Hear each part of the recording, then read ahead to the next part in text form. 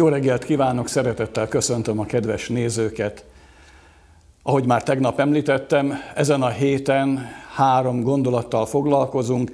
Ez a három gondolat a Korintusbeliekhez írt első levél 13. részében található a 13. versben.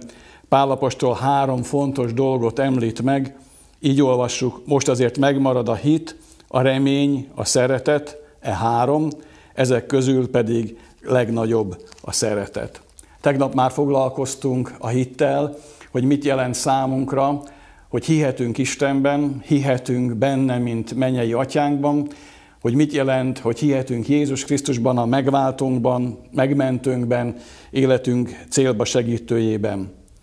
Ma szeretném, hogyha egy kicsit a figyelmünket a Szentírásra irányítanánk, és arra gondolnánk, hogy milyen sokat jelent a mi számunkra az, hogy hihetünk az Isten igéjében. Hihetünk az Isten igéjének az erejében. Úgy olvassuk, hogy Isten az ő szavával hozta létre a világ mindenséget. Ez az ő teremtő szava. Micsoda hatalom volt ebben a szóban. Szólt és létrejött. Azt olvassuk, hogy hatalma szavával tartja fenn a mindenséget. Nem csak létrehozta a világegyetemet, benne természetesen az embert, hanem hatalma szavával tartja fenn a mindenséget.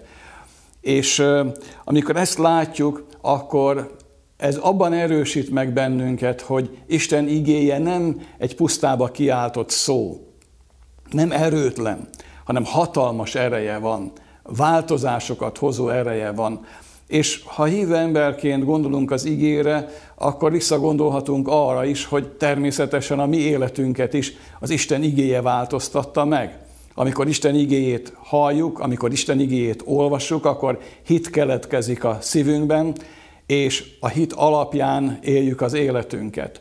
Mennyi mindent változtatott meg az Isten igéje. A gondolkodásmódunkat, ahogy gondolkodunk dolgokról, eseményekről, személyekről, a Biblia alapján.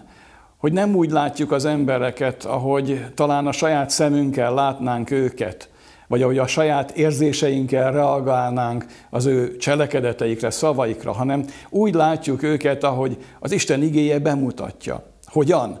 Úgy, hogy Isten minden embert szeret. Úgy szerette ezt az egész világot, hogy egyszülött fiát adta, hogy aki hisző benne el ne vesszen, hanem örök élete legyen. Ez azt jelenti, hogy Isten szeret engem, de azt is jelenti, hogy Isten szereti a másik embert is. Talán azt az embert is, akit én nem tudok annyira szeretni.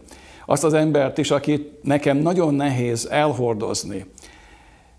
És hogyha úgy gondolkodok, ahogy az Isten igéje beszél, akkor megváltoztatja ez a gondolkodásmódomat.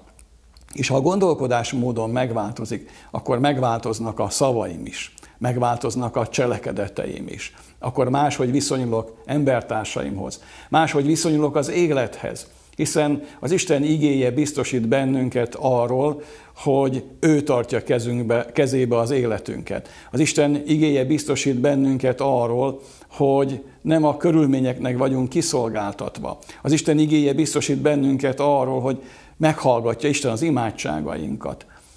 Tehát ezen a mai napon erősödjünk meg abban, hogy az Isten igének ereje és hatalma van az életünkben.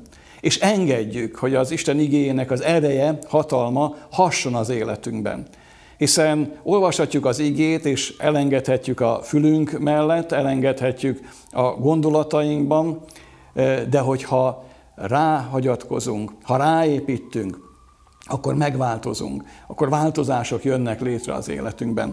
Tehát úgy hallgassuk és úgy olvassuk az Isten igéjét, hogy igényeljük, hogy az életünkben hasson, hogy munkálkodjon az ő ereje által.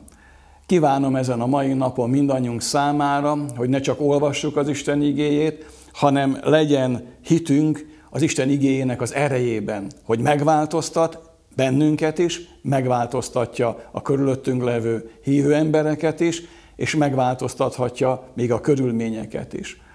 Áldott szép napot, hittel teljes napot kívánok minden kedves nézőnk számára.